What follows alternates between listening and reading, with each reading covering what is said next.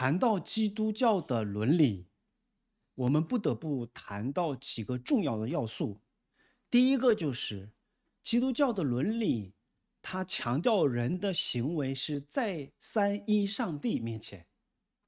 基督教的伦理不是重点强调行为本身，我做了一件对的事情，这个事情本身内在有什么价值？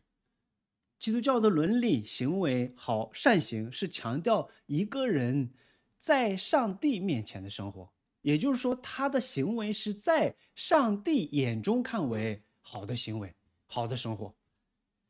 那这种好的行为、好的生活是基于上帝救赎的作为更新了的神的形象样式，或者说我们前面所说的更新了我们的心意。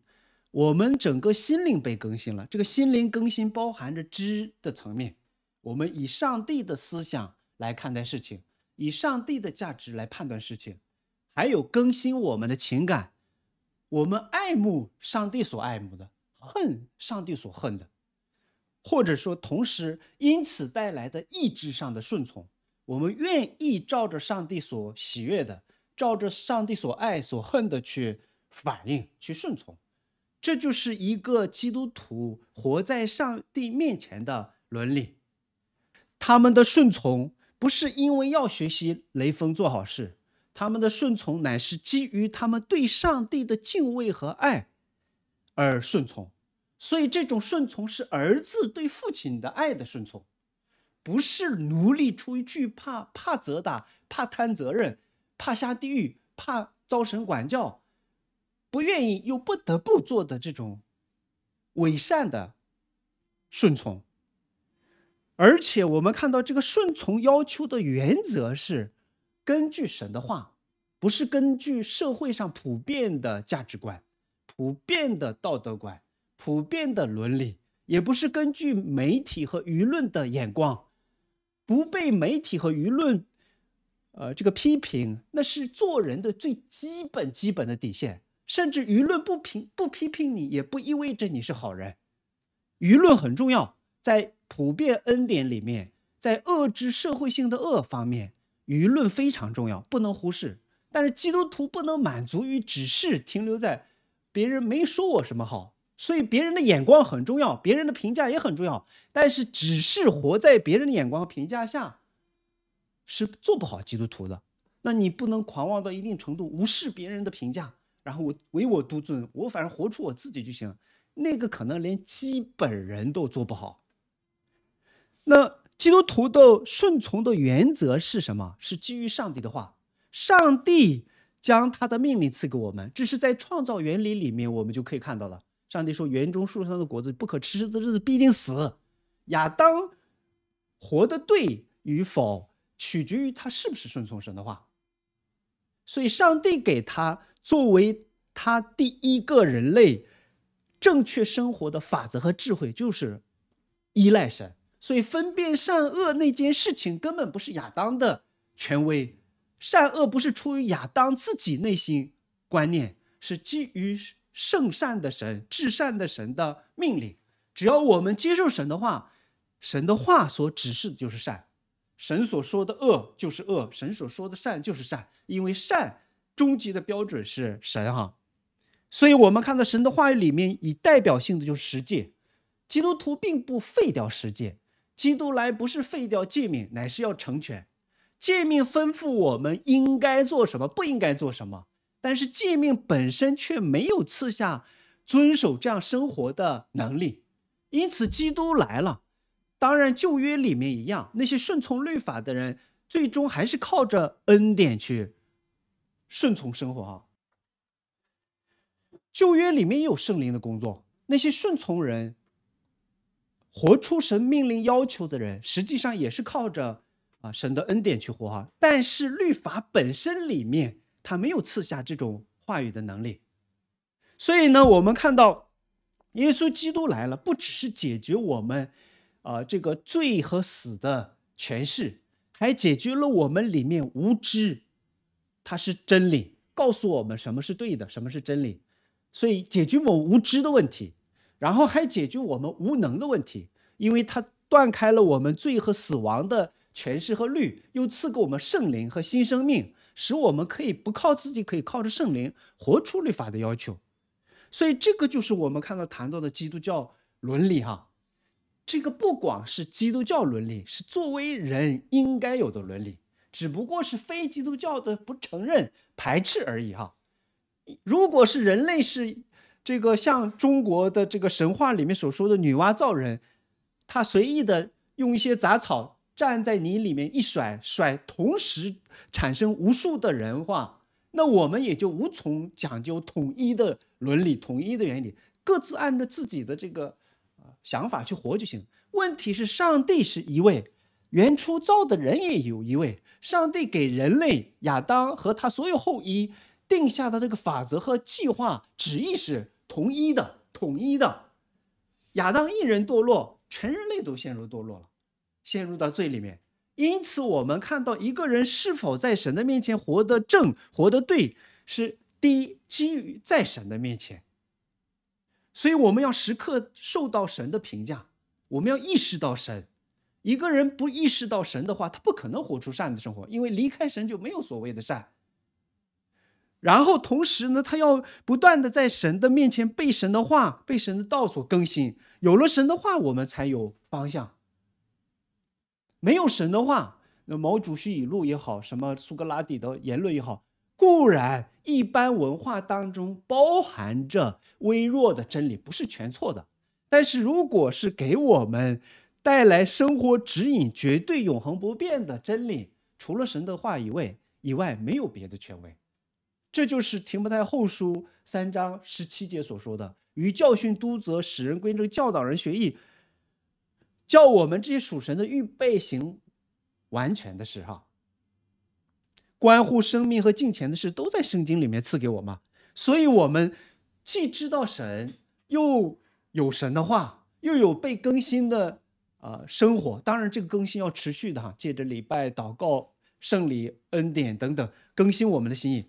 还有一个重要的问题就是顺服的姿态是态度是对神的敬畏啊，意识到他是伟大的神，他是尊严的神。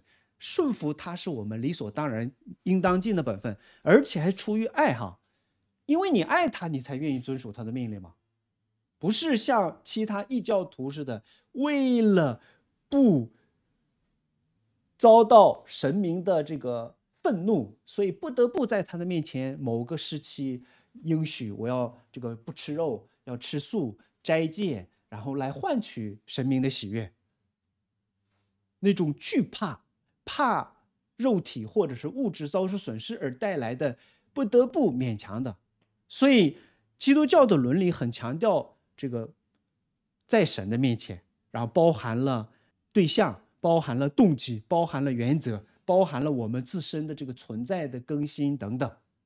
那就是基于这个，保罗在罗马书一章到十一章谈到了，呃，上帝在基督里面称罪人为义的福音。这个神的能力、神的智慧在福音里显明出来了，然后紧接着谈到这个基础之后，又谈到了十二章到十六章伦理的原理，具体我们该怎么做？前面是我们活伦理的基础，没有这个的话，我们谈伦理的话都是法利赛人，都是律法主义，都是。如果是亚当夏娃没堕落，我们在亚当夏娃堕落之前的话，我们可以选择像堕落之前，我可以选择顺从嘛？我有力量顺从嘛？只要我愿意，我就可以做嘛？但是现在我们是处在堕落的状态，虽然蒙了救恩，但是跟原初没堕落、没被污染的情况还不同，所以凭我们自己活不出来，所以我们要依赖恩典。因此，罗马书十二章一节就是以神的恩劝我们，基于神的恩。借着神的恩，我们这个生活新生活是基于恩典的新生活，所以就是在这样的情况下，我们啊学了几周里面这个罗马书十二章开始谈到了很多具体的这样的呃原则哈，什么如何看待自己呀，在教会里面如何恰当的看待自己的功能位置和恩赐啊，然后如何对待别人呢？什么爱人不可虚假，爱弟兄啊，隐亲不可懒惰呀。在指望当如何，在患难当中如何，然后那些对于那些穷乏的肢体应该怎么样对对待，然后包括一些在我们中间来到我们中间做客的那个时代做客的，可能是因为什么等等，我之前也解释了。然后做客的如何去款待？那紧接着十四节就谈到了面对逼迫你们的如何对待的问题。那这里面我们看到什么是逼迫呢？这里面说逼迫你们的，你们要怎么样？要给他们祝福，只要祝福，不要咒诅哈。这里面逼迫希腊文的原文的这个呃是 dioko。翻译成中文就是逼迫或者追逐，哈，追逐，它是包括在肉体和精神层面施予的痛苦，别人施予我们精神或肉体的痛苦，别人逼迫我们，别人追逼我们，像猎杀我们一样。那这个概念呢，我们从圣经当中可以看到逼迫，哈。最早的一个逼迫的例子，我们在新约里面，使徒保罗也解释这个例子了。哈，该隐杀了亚伯，第一个殉道者，或者说第一个遭逼迫的艺人。亚伯因着信，他是信上帝的人，信因着信蒙神悦纳。该隐呢，因为上帝悦纳了亚伯和他的祭物，就嫉妒他，然后杀了他。这是第一个例子。后来又出现了很多例子，我就取。比较代表性的哈，以实玛利和以撒，以实玛利逼迫了以撒，这是呃保罗在加拉太书里面也解释了，属灵的不在先，属肉体、属血气的在先，而且属肉体的人逼迫了属灵的。以实玛利怎么逼是逼迫以以以撒了呢？大家读创世纪的时候可能没太留意哈，这个以实玛利是撒来的妻子夏甲生的哈。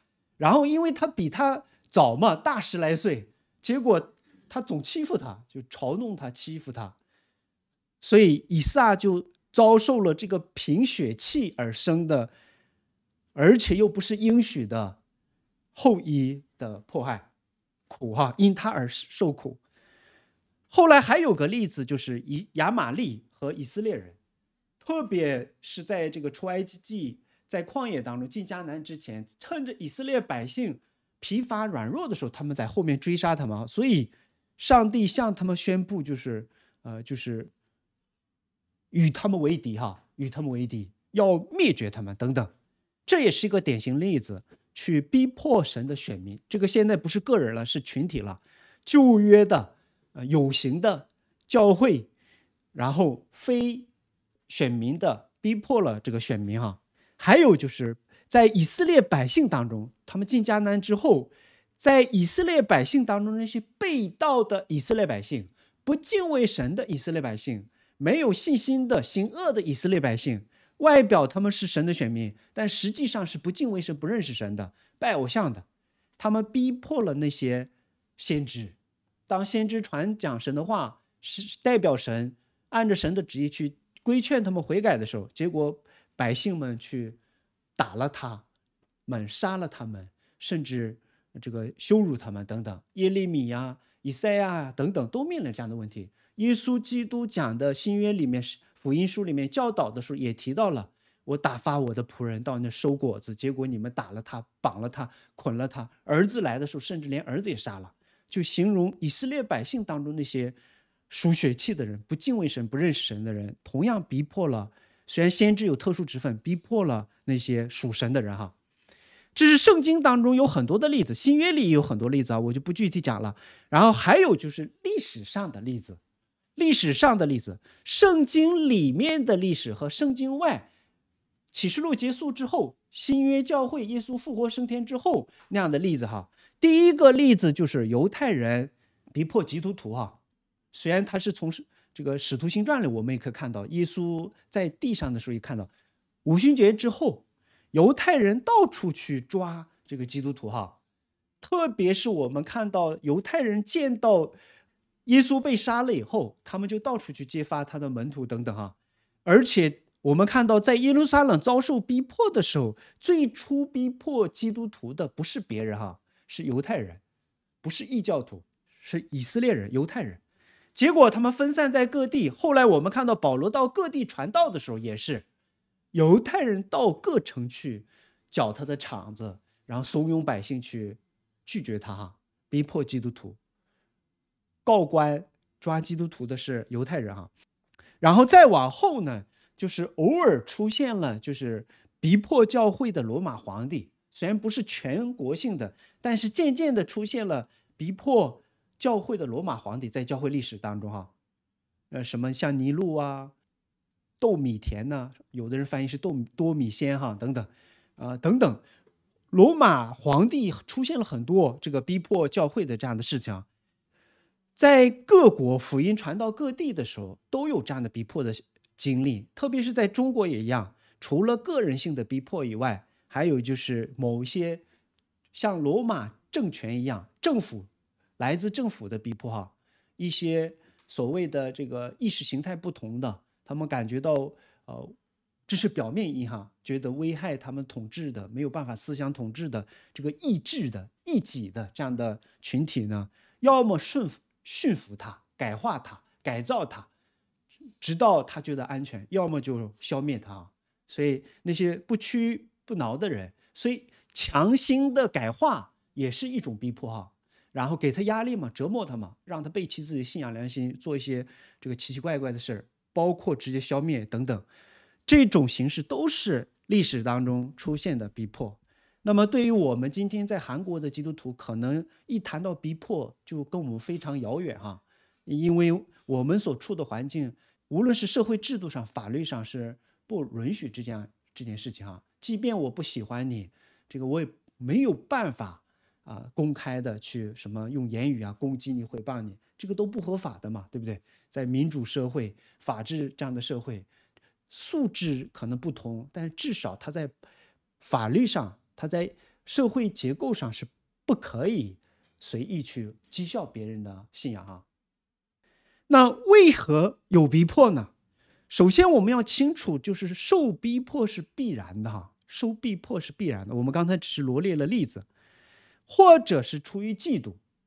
该隐嫉不嫉妒亚伯，哎，他怎么蒙神祝福我不蒙呢？然后结果就杀了他，或者因为政治原因，罗马皇帝觉得，呃，所有不信凯撒的、不拜凯撒为主的，都是一种叛国、一种威胁等等，或者是有些精神病被鬼附那样的，像尼禄那样的哈，他就想这个消灭基督教，等等，表面诸多的原因，但是有更深层的原因。表面上什么政治形态不同、统治啊、意识形态不同、嫉妒啊，有更深层的原因。耶稣基督揭露了。首先，我们看耶稣基督解释为什么受逼迫哈，在约翰福音十五章十八节到二十节里面说到：“世人若恨你们，你们就知道，或者说该知道，恨你们以前已经恨我了。”你们若属世界，世界必爱属自己的。只是你们不属这世界，乃是我从世界中拣选了你们。这是说话的人是基督，说话的对象是追随他的门徒哈，包括使徒，不是所有的，只是对使徒说的。使徒要受逼迫啊，所有的基督徒，你们要纪念我从前对你们所说的：仆人不能大于主人。他们若逼迫了我，仆人不能大于主人。主人是指自己，基督哈，仆人就是他们那些侍奉主的、追随主的。也说到了学生不能大于老师嘛，老师尚且受这样的待遇，更何况学生呢？他们若逼迫了我，也逼迫你们；若遵守了我的话，也必遵守你们的话。然后在马太福音五章十节到十一节的上半节里面说：“为易受逼迫的人有福了，因为天国是他们的。人若因我辱骂你们、逼迫你们。”你找各样坏话回报你们，就说到了逼迫的原因是：第一，你们根本就不是他们一伙的；你们虽然活在世界，但是不属这个世界。世界爱属自己的，世界却排斥和恨不属自己的。基督徒虽然活在这个世界，但是。他们的价值观、他们的属灵的身份和地位，他们里面的性情和爱好和追求，他们是追随基督的人，不效法这个世界的人。使徒彼得也解释了这方面：原本是一块同奔放荡无度道路的人，突然有一天发现你不与他们同奔放荡无度的道路了，一块喝酒话也聊不起来了，一块喝酒，一块做坏事儿，在单位里哈，一块黑就一块黑。黑社会有那个法则嘛，对不对？表忠诚嘛，要成我们会议员嘛，先做点什么黑事儿，免得有一天就你自己干净，你要你要举报我们怎么办？要黑大家都有点把柄，彼此之间啊互相能够信任。要坏就一块坏，不然的话就没法一块玩。当有人发现你们不跟他同奔，放荡无度之道路的时候，就以为奇怪，所以就诽谤逼迫你们哈。在单位待过的人可能有这样的经历，一开始大家都不知道的时候，哎，一块儿玩都挺好。有一天你说我是基督徒，开始异样的眼神，甚至你下面的人也开始，虽然不敢明目张胆的，还抑制不住的，就是流露一些轻蔑或者是言语上的哈。为什么？这是本性的问题，本性的问题。我们不属世界，严格的来说。属世界的人是属魔鬼、属撒旦的。我不愿意什么都灵，但是这个是是合乎圣经的哈。那些以弗所说二章一节里面说，那些在悖逆之子心中运行的邪灵，我们曾经原来是属他们的，跟他们一样的，顺从空中掌权者的势力，就是那在悖逆之子心中运行的邪灵。使徒保罗解释，那些不信的人心中都是侍奉魔鬼的魔鬼之子、地狱之子。所以他们一定会跟上帝的百姓恨上帝的百姓，这个不是外在的问题啊，外在大家都差不多，都一样，都是中华人民共和国公民，都拿着同样的护照，甚至同样的单位，呃，一样的生活。但是有一天你的灵里面的户籍发生变化的时候，最先感知的是灵界哈，撒旦知道，上帝当然也知道，然后那些属撒旦的人莫名其妙。就情感上就仇视你哈，这个是，这是律，这是没有办法改变的。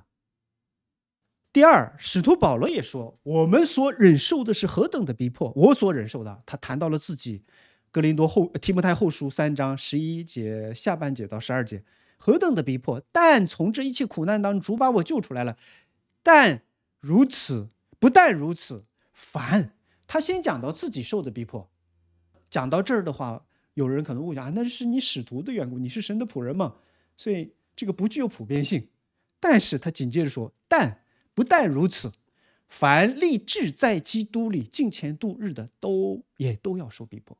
凡是想爱神，在神的面前过合乎神心意的生活，做一个认真基督徒，按着圣经的教导去生活的人，逼迫是必然的，不是可能，是必然的。凡立志在基督耶稣里敬虔度日的，也都要受逼迫，这就是普遍性。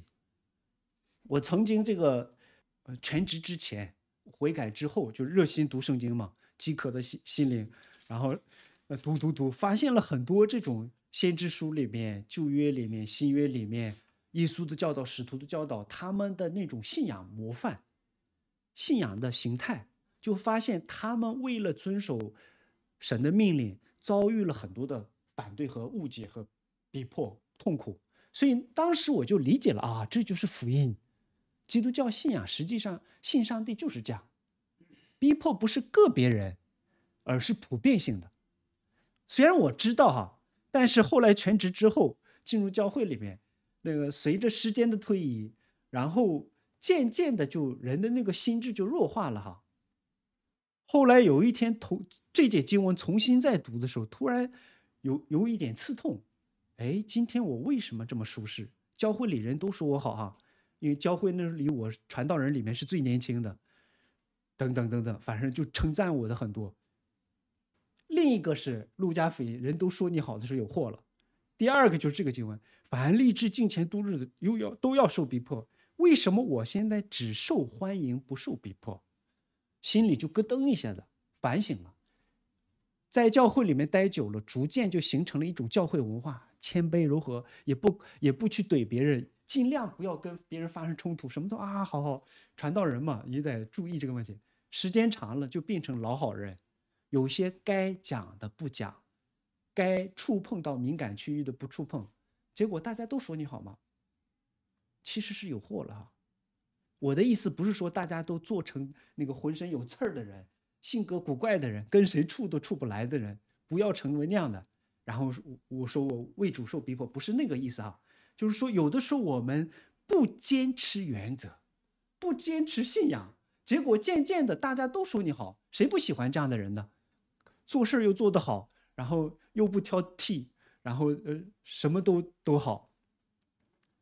那样的人真的是好基督徒吗？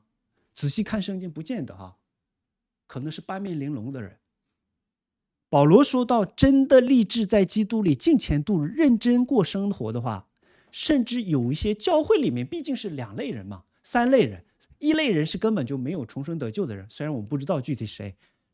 第第二类人是认真过信仰生活、明白神的话、敬畏神的人。第三类人是好像信耶稣了，但是基本上三观还是属肉体的。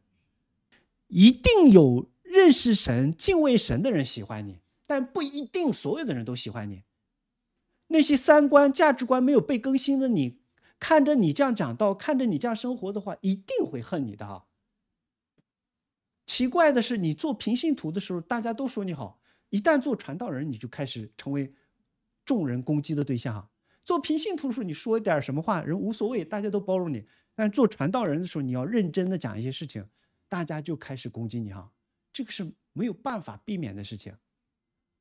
教会里也一样，你要想认真过金钱度日的话，一定会遭到一些人的讨厌哈，因为教会里面不都不都是齐刷的，都是敬虔爱主的人哈。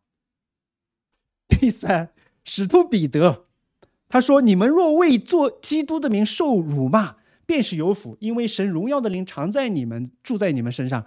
若为基督徒为做基督徒受苦，却不要羞耻，倒要将这。”名归荣耀给神哈，因这名归荣耀给神，什么意思？做基督徒要为基督的名受辱骂的，这是指我们可能在社会上哈，因为你就是做为做基督徒嘛，结果你因着就做基督徒，你还没做什么轰轰烈烈的事儿，只不过照着基督的教训去生活而已，然后别人就辱骂你、讥笑你等等。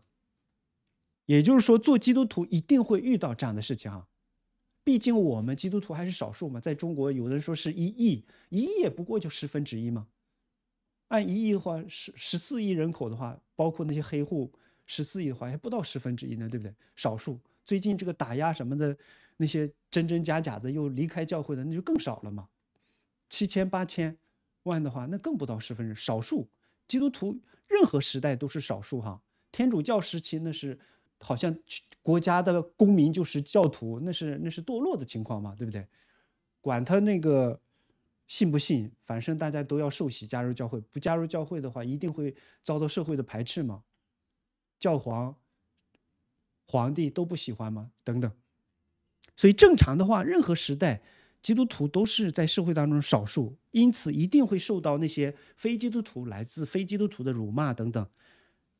然后第四呢？我们可以看到，主耶稣曾经讲过这样的话，《马太福音》十章十六节说到：“我差遣你们去，如同羊进入狼群。”当然，这是耶稣讲的这个呃训练使徒们、门徒们。但是打发他们去传道的时候，形容什么？羊进入狼群，进入到非基督徒世界嘛，要向这些人传道嘛。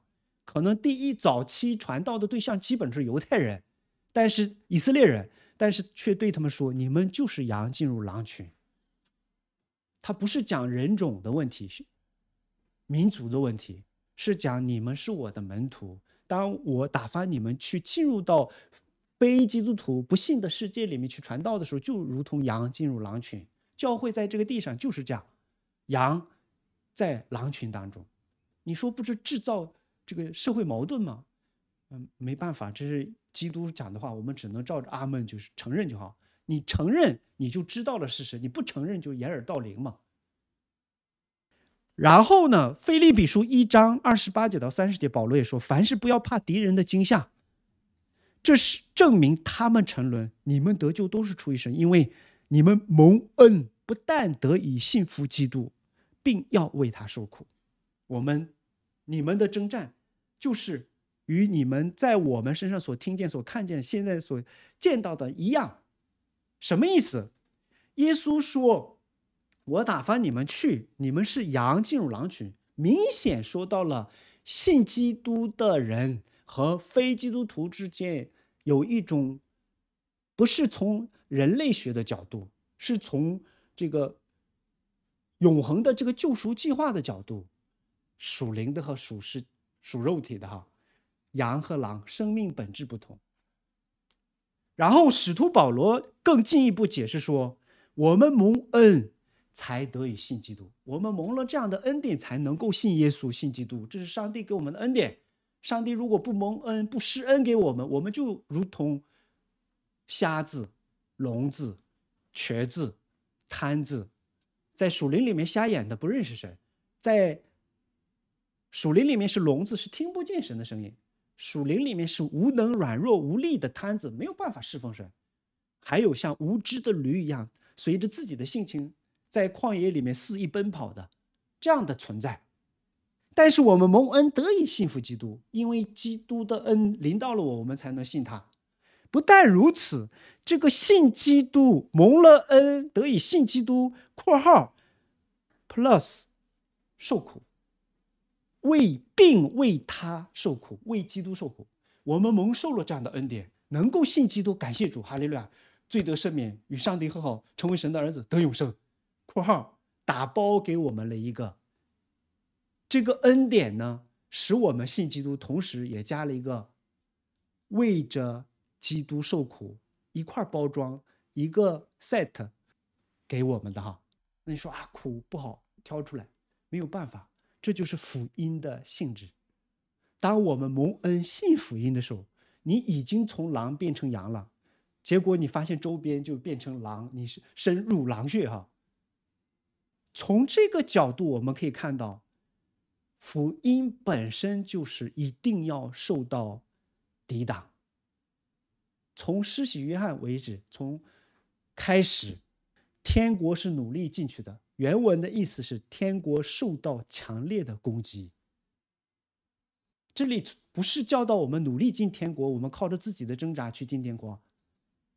说到神的国一直遭受攻击，刚才我也讲了，耶稣讲到旧约的时候，那些仆人、众仆人们都被砍了、被杀了、被被拒绝了，对不对？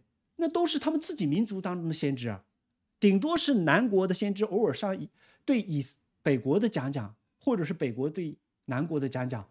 都是以色列人嘛，犹太人嘛，以色列人、希伯来人嘛，他们自己的民族的弟兄兴起来，神的仆人去传福音，警戒他们悔改的时候，却被自己的族人给杀了、打了、拒绝了。耶稣说：“那是我的仆人。”结果绑了、杀了、砍了。后来儿子来了，也被杀了。这就写说明了什么？神的道、神的福音是遭到那些不信的人强烈的拒绝和抵挡的。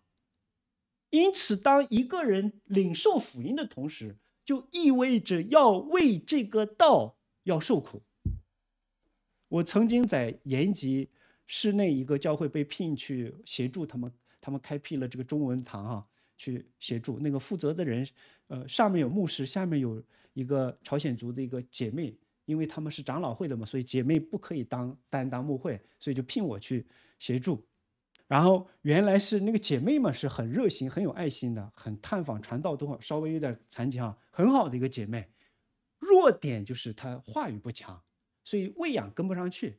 然后我去了就大刀阔斧的就讲，然后讲了大概六个月的时候，他们很多这个青年人就说啊，感谢主，那个是传道师嘛，呃，感谢上帝把传道师带到我们中间，以神本的圣经里面介绍的那个信仰，就给他们重新更新了哈。带来这种新的觉醒，然后那个时候有个弟兄青年部的，然后加上赞美队的那个呃那个弟兄，他就呃一面在那儿做着什么，然后他就跟我讲，他说呃感感谢这个传道师给我们讲这个真理。当时我心里就跳出一句话：领受神的话固然是恩典，但是你要为着你现在感谢不要紧，但是你要为着你将来你领受的话要付上代价。那个话不光是好啊，真好，纯正的道好啊。领受神话语的人，将来要为你所领受的话要受苦，不是听听而已，要实践。当你真正去实践的时候，你要面对的是附带的一些东西。也就是说，神的话丢给我们不是看看听听，哎呀不错，新鲜的道理很好，讲的很好，你讲的很好。那个道是要你去实践的，当你去实践的时候，他要你付代价。首先要对付的就是你自我为中心，你自己的傲慢，你自己的想法，你自己的决定。以前是不信主无所谓，我自己当老板，我想干啥就干啥，随心所欲，没有人定罪，法律又不制裁我，这是我自己的隐私，我自己的人权，是吧？但信主以后，你不能再以自我为中心去生活了。神的话要求你顺服，顺服的时候就和你自己的习性、喜好、判断、习惯发生冲突嘛？他要求我们舍己跟从。神的话丢出来的时候，发出来的时候，要求的是顺从，听的人，听的人顺从。虽然这个顺从背后是我对神的爱，那些不爱神的人。听了神的话，藐视神的话吗？神的话是对于那些敬畏神、爱神的人，要求是顺从。我们爱神，所以我们甘心顺从嘛，对不对？所以我对他讲，我说不要为你得着道而高兴，当然是恩典。但是还有一个问题，就是你要为你所得的道受苦，这是福音，神的话要求的哈。信了耶稣，哈利路亚，感谢主，上天堂。但是问题是不是马上就提走了？一信主，马上就被提到空中了，与地上的劳苦重担都无关了哈。继续活活在狼群当中，活在这个抵挡神、不认识神的世界当中。除非我们像尼格迪姆一样闭上嘴不吱声，怕因耶稣的缘故别人攻击我，我提前计算好了，所以我就闭上嘴，我也不跟别人说我是基督徒。这样的话。你在你周边的社会当中，一切都会很很好的，但是问题你自己不好，你心里面不踏实嘛。但是你一旦告白你是基督徒，马上就那个所有的这个戒备、所有攻击的武器都开始发动了哈。这个是规律，这是没有人能够逃避的。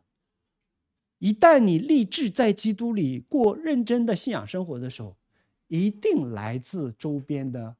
这个张力，这个不是你人品、人际关系能力的问题，这是属灵的原理的问题。属血气的一定逼迫属灵的，属世界的一定恨不属自己的，这是基督亲自讲的，这个是整个历史已经见证过的。所以逼迫是包打包在福音里面一同给我们的，我们领受了福音，就意味着我们要为福音受苦。所以很多基督徒没有受到这方面的教导和装备，以为信了主以后平平安安了，不是，麻烦更多了。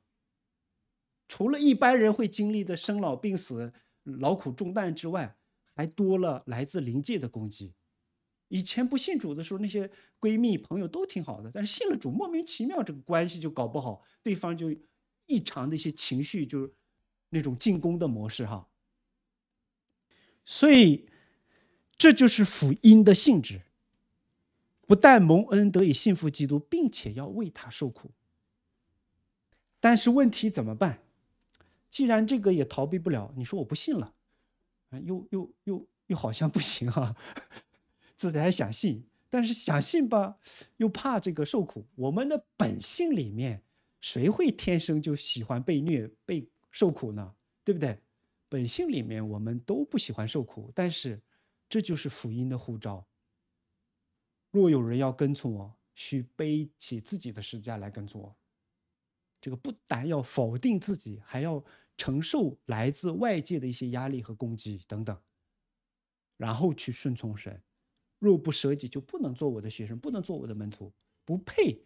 这就已经设定了。福音要求我们不只是听，要回应。不回应的话，就等于没听。反而听了不信，还要受到更严厉的审判。为什么？听的过程已经给我们责任了，要我们反应和顺从。但是我们不做反应，我们又成为刚硬、被你拒绝神话语的人，对不对？虽然我们的顺从不是抱着那种恐惧、害怕，是因为认识了基督，领受了这样的恩典，我们愿意顺从。但即便愿意顺从，也是。多少还是对苦难是有这种本能性的这种惧怕和反应嘛，对不对？谁都喜欢这种舒适嘛，基督徒一样，牧师也一样。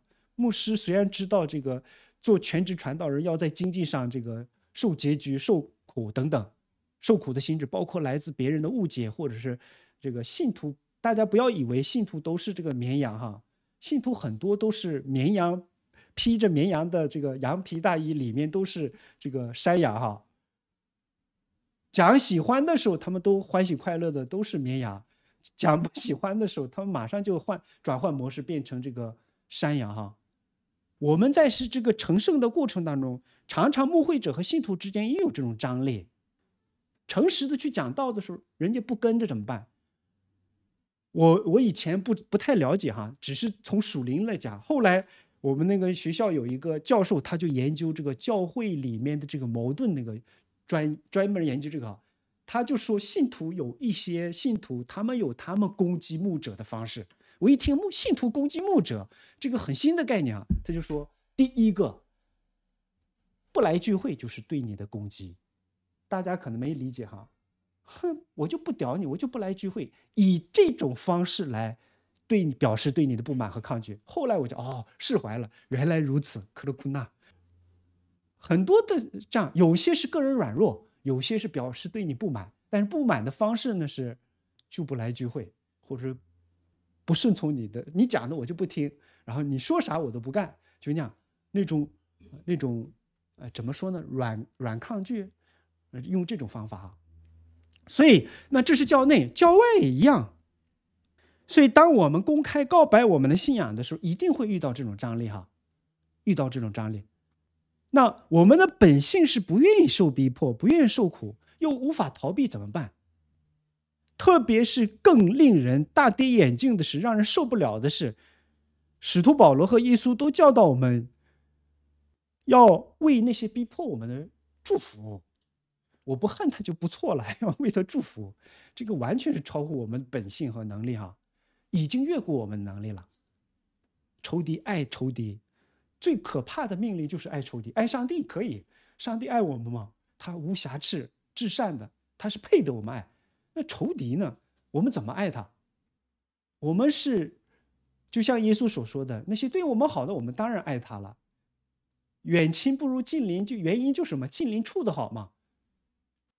对我们好的，我们对他好，这是礼尚往来正常的反应嘛。但是让我们去爱那些对我们不好，甚至恶待我们的人，这个就不容易。所以圣经要求的。圣经要求的从来不是按照我们的本性和能力要求我们哈，要求的是对的事情、正确的事情，但是往往是超越我们的情感和能力。要为那些逼迫他们的、逼迫你们的祝福，上帝要祝福他们。这样的事情在圣经里面有哈，耶稣做了，主啊，赦免他们，他们所做的不是不知道。难道他们不知道吗？某种程度，他们知道。犹太人知道怎么为什么要出卖耶稣、害耶稣、收买犹大去啊，耸动这个比拉多判他死罪，然后为了除掉他们的，他们清楚自己的计划，但是他们不知道，他们真的把神的儿子钉在石架了，对不对？属灵里面是瞎眼的、无知的，按照世俗呢，他们都筹算的都是谋杀嘛，计划有计划性的作假见证，有计划性，他们知道做什么。但是耶稣说更深层的，他们不知道他们自己做的什么。为他们祷告，怜悯他们。呃，斯蒂凡也做了同样的祷告吗？那我们看，那都是斯蒂凡被圣灵充满，我们没做，我们怎么做？就面临了这个实际问题，是不是？牧师讲这个话，也不是说牧师已经实践的非常轻车熟路了，毫无痛感的那些伤害自己的人，那些恶待自己的人。就毫无痛感的就可以爱他吗？不是那样哈。那这个命令怎么去活？怎么去遵守啊？给他们祝福，我是没做到哈。气的不得了，恨 恨不得想好好教训教训他呢，是吧？但是又做牧师又你说太言语暴力又不行，然后又动粗也不行，那忍还忍不住啊！想想，我是睡觉非常好的人哈。在中国一次，在韩国一次，竟然连续一两周这个睡不着觉这样的情况，我不是说完全睡不着，就睡睡觉一个小时马上醒，睡一个一个小时马上醒，这种奇怪的现象，为什么担当不了？想起那个人，听见那个人的名字，看见他面孔，谁提他，心里就痛得不得了，根本担当不了。爱仇敌，我知道，我都讲过很多道了，对不对？祝福，祝福有点辛苦，我不恨他，可以努力不恨他。祝福呢，有点做不到哈。只要祝福，不可咒诅，这就是十诫的命令。爱神爱人如己，包括这个爱人的，包括爱那些仇敌。那问题是我们做不到，凭着我们做不到怎么办？所以要祷告嘛。祈求神的恩典吗？所以我说，刚才基督教伦理很重要的是爱神，因为我们爱神，因为我们知道神的心意。我因着爱神，我愿意顺从神，但顺从的过程中发现了自己的这种局限，没有办法做不到怎么办？主啊，帮助我，给我恩典，承认自己的软弱，同时祈求神的恩典吗？柏拉救主义认为。上帝命令我们，是因为我们能做，所以上帝从来不会命令我们做不到的事情。但是奥古斯丁认为，不是因为我们能做，乃是我们应该做。我们做不到，但是上帝这样命令是告诉我们：一是应该做的事，第二告诉我们应该求什么。上帝命令了是我们应该做的本分和义务，无可推卸。但是没有能力怎么办？知道教导我们如何去正确祷告，求主啊给我恩典和力量，让我能够顺从你的命令。求你赐我你所命令、所吩咐的哈。所以问题在哪里呢？问题是我们要认识到以上的逼迫的原因和必然性。就既然我做了基督徒，已经走上了不归路，除非是我完全抛弃信仰，宁可下地狱无所谓了。但是既然作为基督徒，福音本身就包含着被弃绝哈，我们的主已经做了，走了这个路。我们是追随他脚踪啊。第二，我们要做好受苦的准备。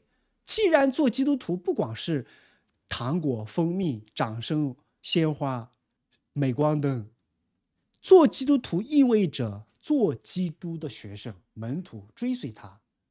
学生不能大过老师，老师尚且遭到这样的待遇，更何况我们呢？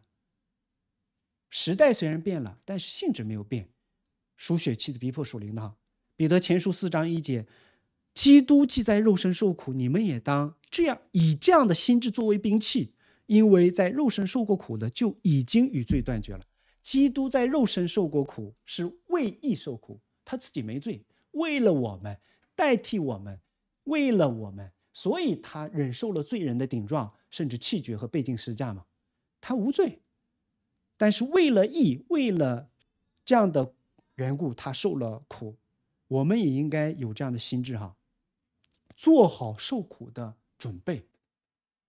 第三，爱仇敌。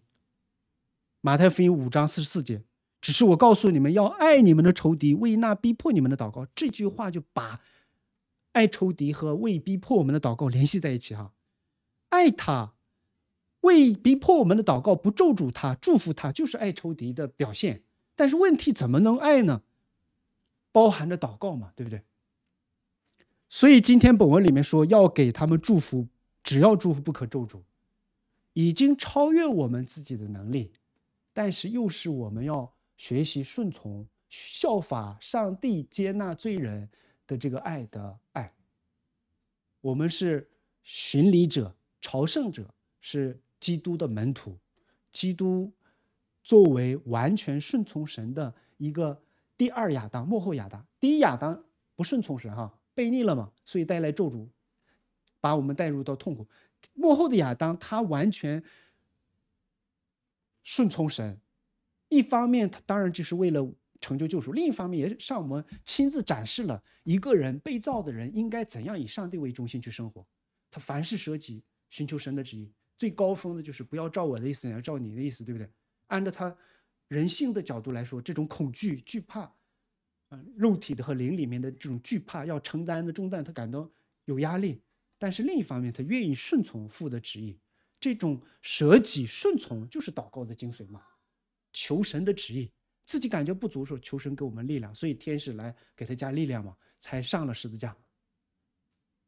那我们这些作为他的门徒，虽然我们不需要救赎别人，但是我们在顺从神的话语的时候，往往神的话要求的是超过一般人的水平，很高的、完美的，爱仇敌，饶恕他们，还要为他们祝福。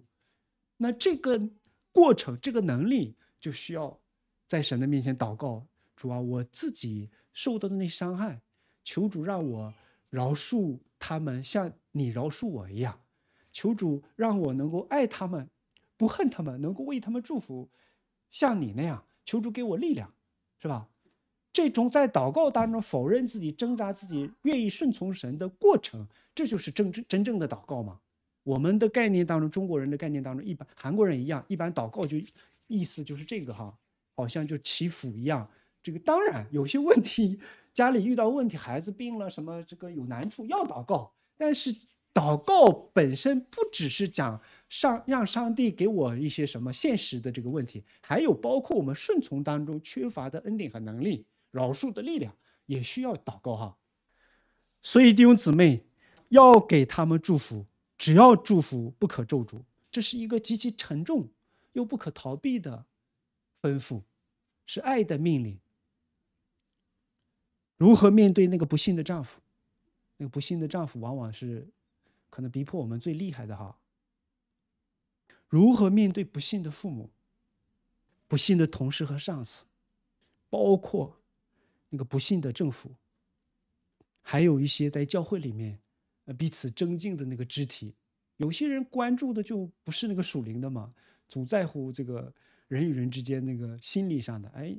这个人就被神被牧师更多的重重重视重视了，然后就就就心里不舒服，就扯你的腿哈，或者是背后在评论评论你等等。我们中间这种现象还没有明确的发现哈，但是教会越来越大，啊，会有这种现象哈，在教会里面的人也会那个争竞、嫉妒之类的哈，然后也会给你带来压力和伤害这种情况，你怎么对待他？这也是另一种形式的呃逼迫嘛，背后总你那么努力去服侍，背后总给你差评、差评、差评，好像他有权权利给差评似的，但是就给你评价嘛，那咋整？搞得你这个精神压力挺大的哈。所以弟兄姊妹真的，这个卓卷讲到好处就好好在这儿，牧师没有办法跳着去挑那些自己喜欢讲、容易讲的内容。讲到这儿了，没有办法越过去，就还得讲嘛。我也知道我们在网上有一些肢体遭遇的一些，在中国哈遭遇一些让人 无法理解的事情，连我连我这样做牧师的人，读神学这么多年了，听见这样的事都气得肺都要炸了哈，讲不通理的。